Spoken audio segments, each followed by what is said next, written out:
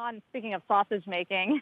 we're all we're all trying to work our sources on what's going on here, and so I can confirm now with sources close to the matter that Treasury sent major revisions to the term sheet last night to address the security and data issues, and that ByteDance, parent company of TikTok, has agreed to it in full. So a, a development potentially pointing this into the direction of getting on President Trump's desk, get, getting him briefed on the matter, and potentially satisfying some of the security concerns. I can also confirm, according to sources close to the matter, that both Oracle and ByteDance confirmed the revisions that were requested by Treasury late last night with the Treasury Secretary himself. And Trump will obviously need to be briefed on these revisions and these changes, but that is a new development of what's going on behind the scenes that got us to this point that obviously jives with David Faber's reporting that President Trump is set to make a decision uh, on this in the next 24 to 36 hours. The Treasury sent major revisions to the term sheet